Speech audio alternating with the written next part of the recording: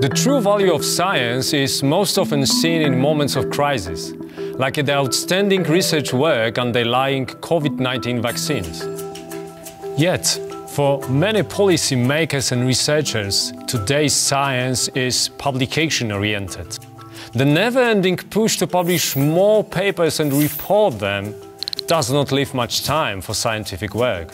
So, in a world drowning in research papers, are we overlooking the truly revolutionary ideas and discoveries?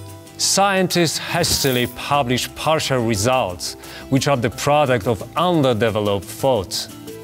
It is one of the critical consequences of the evaluation game in today's science. The game in which researchers try to meet metrics-based expectations. How then are scientists evaluated?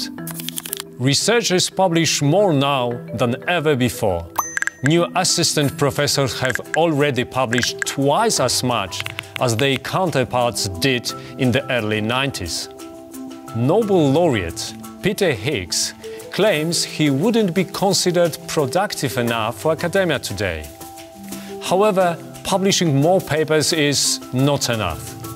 The number of times those papers are cited is the actual hard currency in science. Eugene Garfield, the creator of the most popular metric that is journal impact factor, compared it to nuclear energy. Beneficial in the right hands, but often abused. Frankly speaking, all we see nowadays is an abuse of metrics in academia. Measuring science and publications has been practiced for two centuries, but now it has been reduced to counting only English publications. See for yourself. Only 15% of the Polish publications are indexed in the Web of Science, the most popular database in research evaluation. And the main reason is that they are not published in English.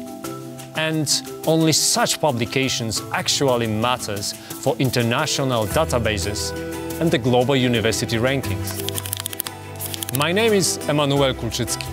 I'm a philosopher and social scientist. I wrote the evaluation game to put forward a new account of the origins and effects of metrics in academia and to outline how to improve research evaluation.